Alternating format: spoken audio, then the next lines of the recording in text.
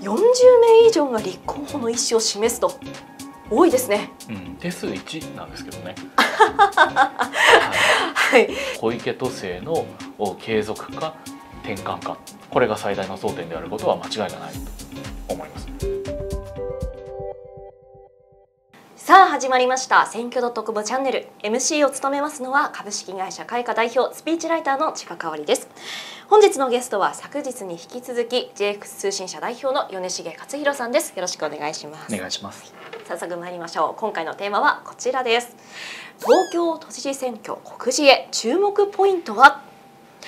とうとう始まります。6月20日から東京都知事選挙が告示されますと本日だと思うんですけれどもこの収録は6月17日に収録させていただいておりますのでそちらもご理解ください。続々と立候補表明続いている中だと思いますので今回米重さんに都知事選の注目ポイントを伺っていきたいと思います。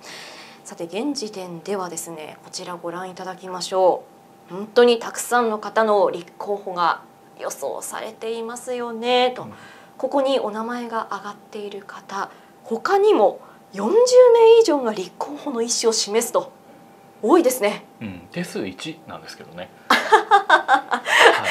い、はい、決して複数人が受かる選挙ではないのにそうなんですよね。はい、市議選みたいな候補者数ですよね。なかなかね選挙ポスターを貼る場所どうしようなんていうねお話もあったりしますけど、ね、そうですね。いよいよデジタルサイネージとかにした方がいいんじゃないかっていう意見が説得力を増してますね、まあ、今回ですね選挙と特チャンネルではこれ以降ですね全候補者さんを紹介する企画というものをいくつか行っていきたいと思います。そのオリジナル企画の方で詳しくお一人ずつご紹介したいと思うのですが今回はまず全体感というところでお聞きしていきたいと思います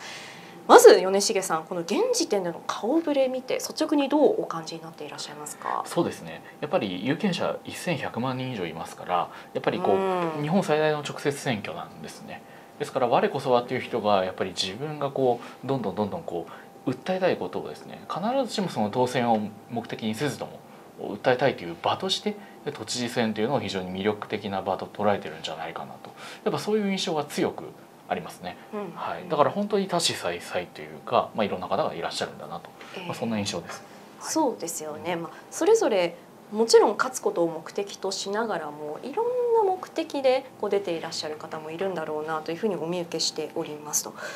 今回こうズバリ争点は何なのかっていうところを見た時に、まあ、一つキーポイントになるのは小池都政というものをどう捉えるのかなんでしょうか？そうですね、はい、あのどんな場所でもそうなんですけれども現職が出馬すれば現職の市政あるいは区政あるいは都政これ必ず争点になります。最大争点です、まあ、つまり今回の都知事選は現職が出ると言ってるわけですから、まあ、小池都政の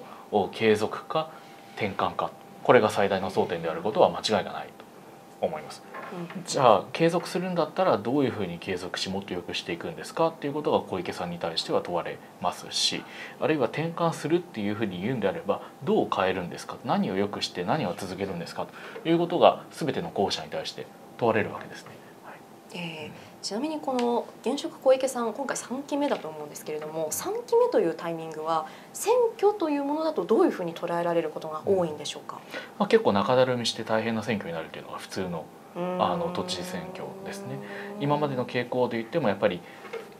現職って再選されあの再選出馬をして落ちたことはないんですけれど、はい、2期目が最高得票というのも全員共通してるんです、えー、で3期目ってそれより必ず落ち込むんですね。でどれぐらい落ち込むかっていうので、まあ、結構石原さんとかも若干大変な思いされたって話もありましたし、まあ、やはりこの2期目と比べると楽な選挙じゃないよっていうのはまあこれ定番ですと。でこれはまあ他の首長選挙でも似たような傾向はあるんですけれど、まあ、小池さんの場合にはじゃあそれが今回この並々あのいろんな並みいる候補者がいらっしゃる中で、えー、どういうふうにこうどれぐらいの得票差で当選するのかもしくはあ落選するのか、まあ、この辺はやっぱりこう見どころだとは思いますね。うん、はい私個人的には今回ですねこういろんな候補者の方が、まあ、SNS を駆使していろんなことをやっているなというふうに感じているんですよね。YouTube 動画などのもありますしあと AI を活用するといった候補者さんもいくつかいらっしゃるように感じました。そういう選挙のこう新しいやり方という点でも面白いなと思っています。どうですか？そうですね、はい、やっぱりあのメディアのその接触の時間というか消費者生活者がどういうメディアに対して時間を使うかということがこの10年で大きく変わりました。はい、でその結果として、えー、やはりこの選挙の在り方もっと言うとその票になるメディアでの露出っていうことの在り方も大きく変わったんですね。言い方を変えると昔はテレビに出まくってる人がすごい知名度高くて強かったとそういう人は寝てても選挙に当選するみたいな人がいた。東京都で言えば青島知事とかはそういうパターンだったわけですよね。はい、でそれに対してやはりこのこの10年でいうとやはり徐々にこの参院の全国比例とかでいわゆるネット選挙で得票をしてそれで当選ラインの上にちゃんと来るっていう人が続々とこう出てきた。かと思えばそれでもって全国的に得票をして政党要件を満たすっていうそういう政治団体も出てきたと、まあ、いうような形で徐々にこういわネット選挙的なものがこう票になるっていうことが分かってきた、まあ、実際に票がついてきたんですよね。なんかネットだとこう実態よりすごく大きく見えて実はそんなに票出ないみたいなことが昔はあったんですけど最近はそうでもなくなってきたと。じゃあ今回の都知事選挙どうなるんでしょうというところがやはり注目ですよね。この東京都民という今回の有権者にあたる人たちの性質というところは何かそういう SNS とかあとはこう世代的なところ以外にも何か特徴量というものがあったりされるんですかね。そうですね。まず全国に比べて言うと、無党派層はボリューム大きいです。そうです特定の政党を支持しないと。であともっと言うと全国よりちょっと若い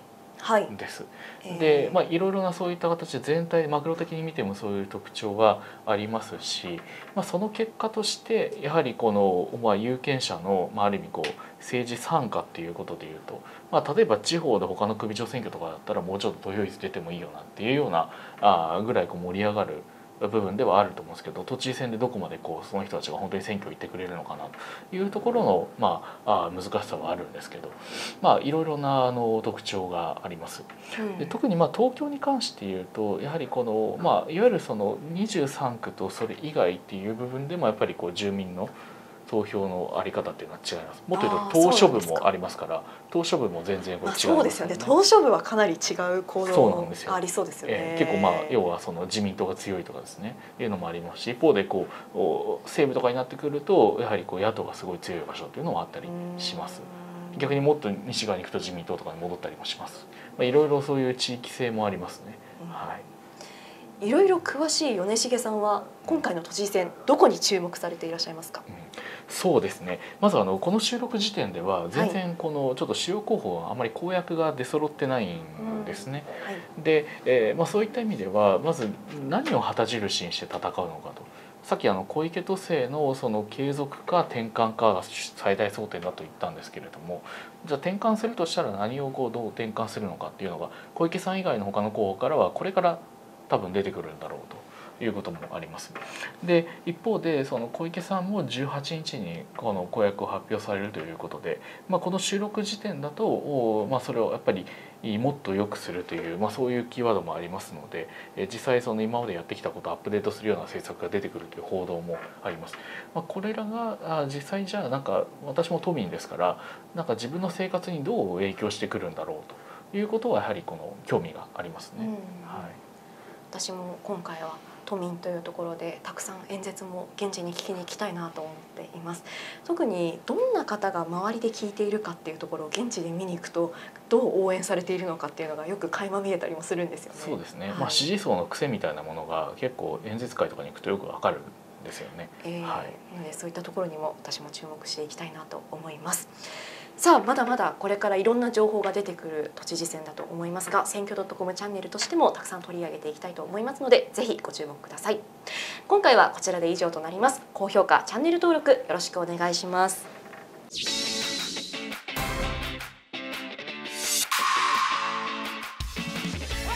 長がグルメ作るっていうシーン、はい、なかなか見ないですあそうですね。本邦初公開。そこで混ぜない。混ぜない。混ぜないすごい景色が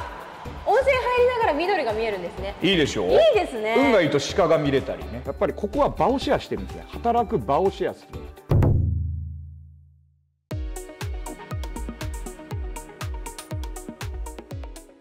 選曲だけに配信するバナー広告と YouTube 広告。よろしくお願いします。一二太郎です。よろしくお願いします。一二太郎です。